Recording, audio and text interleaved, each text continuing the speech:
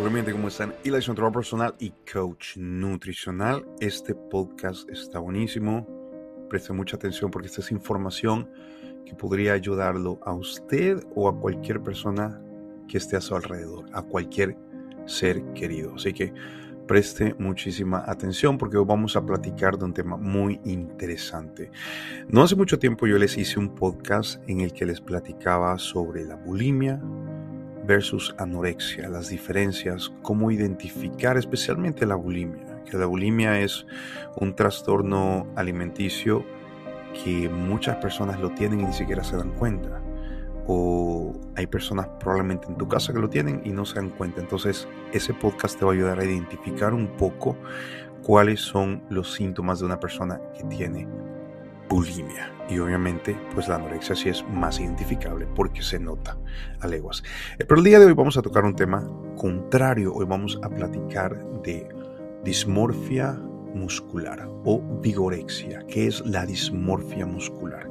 Es totalmente lo opuesto a lo que es la anorexia. Esto es totalmente opuesto y les voy a platicar.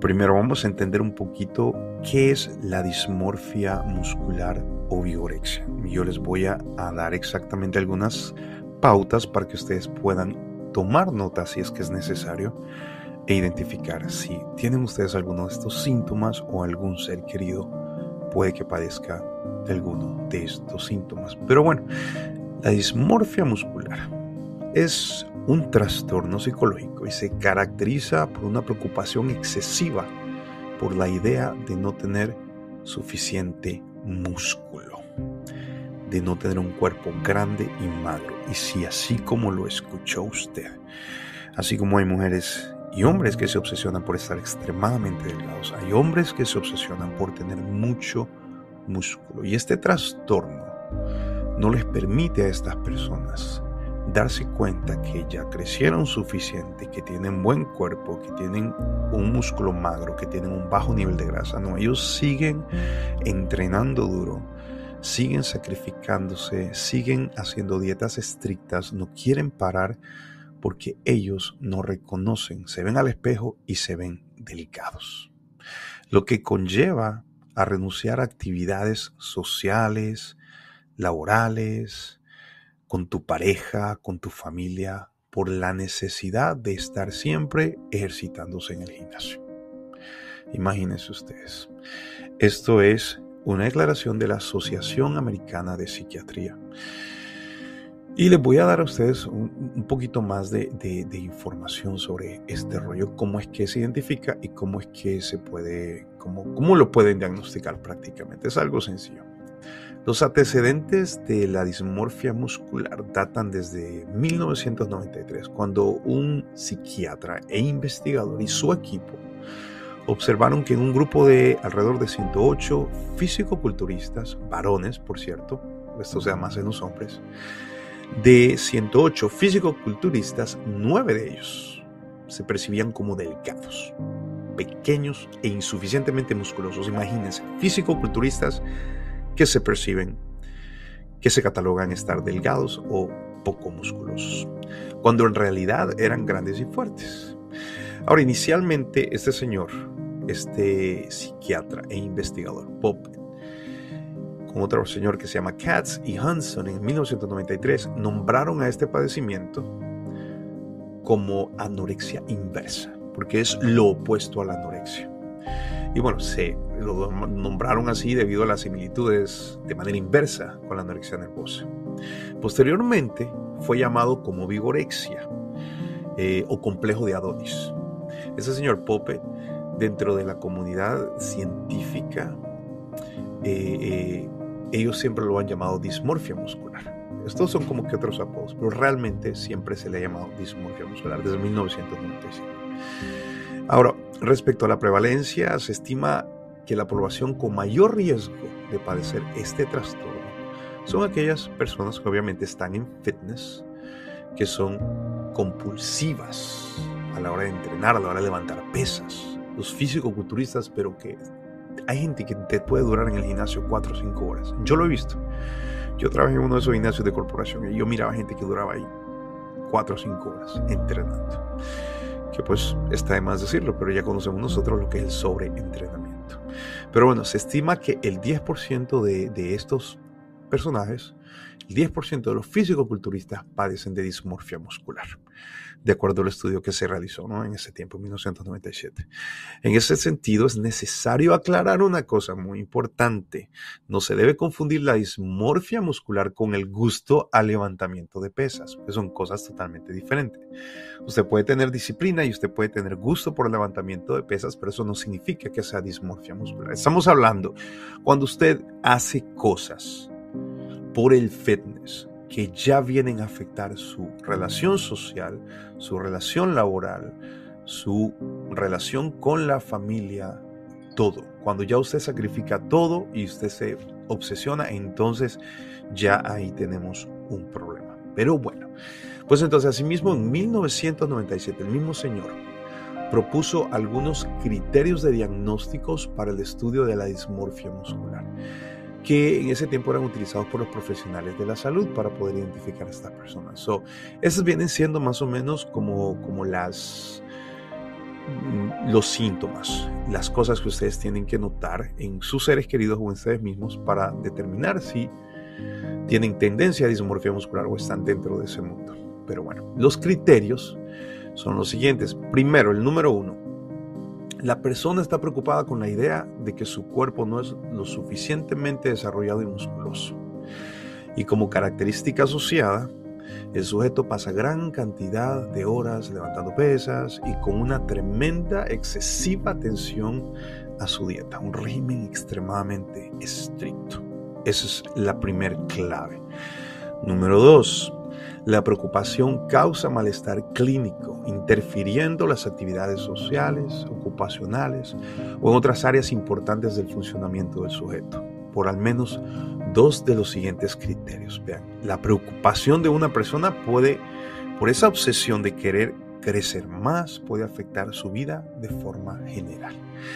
Y vean, estos son los siguientes criterios. El A, el individuo reduce su actividad social u ocupacional por la necesidad compulsiva de entrenar o mantener la dieta. Imagínense una persona que no socializa, que ya no sale para ningún lado por esa necesidad obsesiva de mantener un régimen alimenticio. B, el individuo evita situaciones donde tiene que mostrar su cuerpo o se tiene que quitar la camisa. Y si logran que se quite la camisa, se va a sentir mal e incluso le puede dar hasta ansiedad por haberse quitado la camisa, aunque se ve bien, pero él piensa que no se ve bien. C. La preocupación por la inadecuación de su cuerpo causa malestar clínico significativo, interfiere con su vida social ocupacional u otras áreas importantes de su funcionamiento. D. El sujeto sigue con el entrenamiento, la dieta o el uso de sustancias a pesar de saber las consecuencias adversas, tanto físicas como psicológicas, que estos productos le pueden causar. Cuando son esas personas que están en gear, que están en chocho, y se meten chocho por arriba y por abajo y no les importa, no piensan en las consecuencias y saben que esto les puede traer unas consecuencias adversas, resultados negativos a la larga y ellos de igual forma lo siguen haciendo. eso es parte de este trastorno de dismorfia muscular. Y bueno, vamos entonces eh, eh, eh, a, platicar un poquito, pero antes de eso, vean, debido a que la, debido a que la, dismorfia muscular no figura o no figuraba en ese tiempo dentro de las clasificaciones de trastornos psicológicos según la Asociación Americana de Psiquiatría en el 2000, en el año 2000, existía una controversia. Eh, ok, eso, fue lo que sucedió. Este, este, este, problema lo comenzaron a tomar en cuenta desde 1993. De 1993, este señor Puppet, por ejemplo, él estuvo haciendo muchas investigaciones y buscando la manera de que la Asociación de Psiquiatría le diera un nombre, le pusiera una clasificación, porque todos los trastornos tienen una clasificación, y buscaban maneras de ponerle una clasificación y no encontraban. Entonces, imagínense, tres años después, en el 2000, que existía la controversia de que, de que la clasificación de este trastorno bajo un criterio diagnóstico específico así tendría que ser un trastorno específico, diversos estudios trataron de conceptuar el trastorno dentro de diferentes entidades nosológicas. Por ejemplo, se creyó que podría ubicarse dentro de los trastornos de comportamiento alimenticio, pero no fue así. Luego otros autores mencionan que podría estar considerado como un trastorno de ansiedad, concretamente como un trastorno obsesivo compulsivo debido a la relación de entrenamiento riguroso y dietas estrictas, específicamente de tipo hiperproteico. Eso ya lo sabemos. Esto, el 2001, ahí estaba esta gente toda discutiendo. No, es que esto cae en esto, es que esto cae en esto, es que sí, que el trastorno obsesivo compulsivo, que porque esta persona está obsesionada con estar siempre entrenando, llevando dietas rigurosas, bla, bla, bla, bla. sin embargo, el mayor acuerdo estaba en que podría ubicarse dentro de los ah, trastornos somatomorfos, concretamente dentro del trastorno dismórfico. El trastorno dismórfico corporal debido a la excesiva preocupación por imagen corporal que el individuo tiene. Pero bueno, con la reciente publicación, y esta ya es la actualización, la última fue en el 2013, por la Asociación Americana de Psiquiatría en 2013. Ah, bueno, pues en esta, en esta publicación encontramos que la dismorfia muscular aparece dentro del capítulo Los trastornos obsesivos compulsivos y otros trastornos relacionados, específicamente dentro del trastorno dismórfico corporal y los criterios diagnósticos que se presentan o que ellos utilizaron para esto son los siguientes, ya para finalizar este rollo. So, por ejemplo, eh, uno, que la preocupación por uno o más defectos o imperfecciones percibidas por el individuo más no por las demás personas tiene gran importancia para esta persona.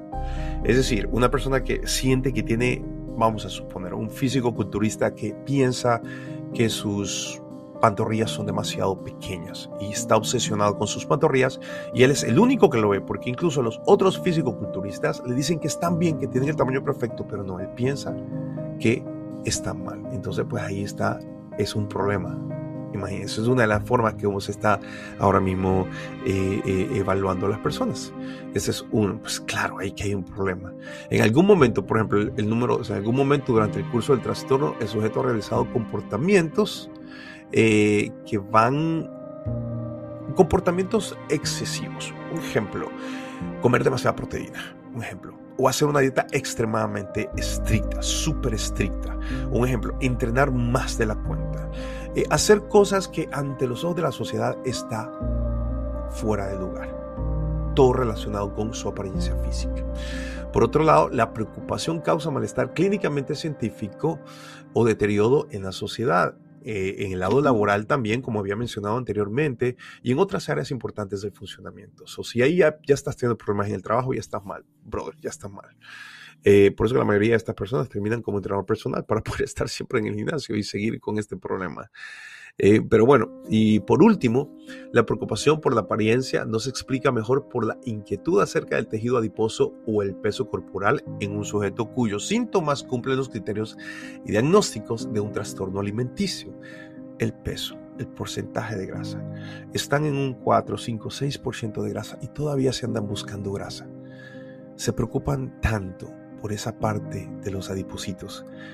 Esto es malo, esto es muy malo esto es algo que nosotros, o sea, es importante que, entendamos y que mantengamos nuestros ojos abiertos y obviamente nuestras mentes abiertas y busquemos la manera de apoyar a las personas que pensemos nosotros que están en esta situación. No es de ir y decirles, ah, estás, tenés vigorexia, es dismorfia muscular. No necesariamente, pero simplemente poner un poco más de atención para ayudar a alguien. Y si notamos algunos de estos síntomas que tenga alguna persona, pues sería de buscar ayuda profesional. Eso sería lo mejor. Pero bueno, además de esos criterios que les leí, los criterios señalados anteriormente, también menciona a los individuos que presentan el trastorno, eh, eh, también pueden estar preocupados por otras áreas de su cuerpo, como la piel o el cabello, y que la mayoría de ellos realicen, realizan dietas, obviamente los ejercicios y todo de forma excesiva. So, ya estamos hablando no solamente del aspecto en cuestión de músculo, sino que ya se viene entrando a una metrosexualidad, pensaría yo. Me acuerdo los años 90, creo que fue en los 2000, que se puso muy de moda los hombres metrosexuales y todo el mundo se sacaba las cejas, se hacía mascarillas, pero era algo sano, era, era una moda como cualquier otra, pero ya cuando estás demasiado obsesionado, pero estamos hablando que estas son cosas que una persona hace de forma impulsiva y sin control, de una manera excesiva. Pero bueno, eh, yo creo que eso es todo. Espero esta información haya sido de ayuda. Es muy curioso, es un tema que obviamente si estás dentro del mundo de fitness, te interesa aprender de estos temas y le voy a seguir compartiendo más trastornos alimenticios y todo lo que tiene que ver obviamente con psicología deportiva y todo lo relacionado a perder grasa, aumentar el peso magro, pero siempre recordar que tenemos familia, que tenemos amigos, que existe una vida social y que no nos podemos condenar a simplemente dejarlo todo y obsesionarnos con el fitness, porque el fitness es bueno, pero en exceso hasta el agua hace daño, ¿ok? Nos vemos más adelante, cuídense mucho. Bye bye.